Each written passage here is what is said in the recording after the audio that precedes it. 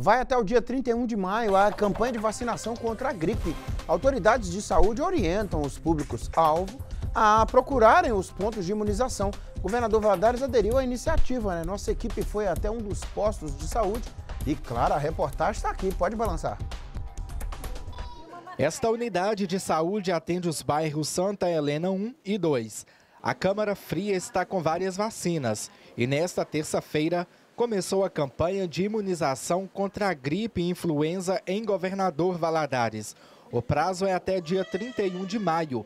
Dona Ercília soube da campanha pela televisão e não perdeu tempo em ir ao posto e atualizar o cartão vacinal. Meu cartão anda rigorosamente em dia e é preciso que as pessoas se conscientizem de que é necessário vir tomar a vacina, porque ela é o único meio eficaz de nos proteger. Hoje eu vim tomar da gripe, mas eu já tomei a bivalente. O senhor Gersi, de 76 anos, também compareceu ao posto de saúde e tomou as vacinas influenza e bivalente.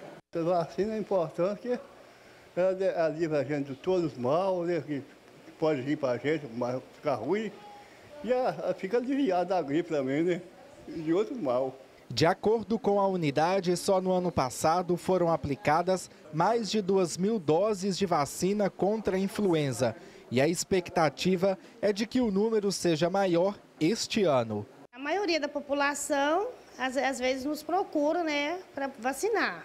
Mas a gente espera estar tá atingindo mesmo né, um número maior nessa campanha da agora, que a gente já está na 25ª campanha né, de, da influenza e a gente espera estar tá vacinando um número maior.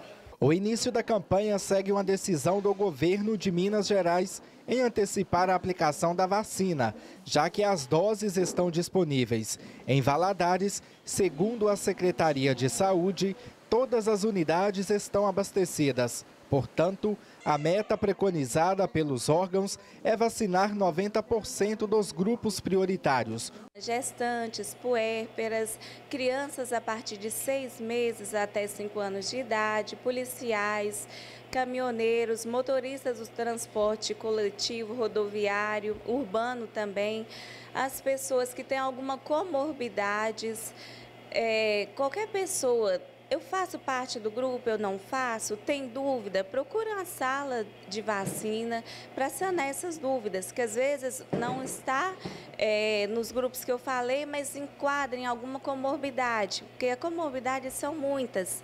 Então, procura o posto de saúde e uma novidade para essa campanha, além da vacina contra a gripe, as pessoas com comorbidades vão poder tomar também a vacina bivalente, que protege contra a Covid e as novas subvariantes da Ômicron. É, se cuidar, né, gente? A, a vacina está disponível, a gente entra na campanha, fala o tempo todo, mas as pessoas não levam a sério. Fazer o quê?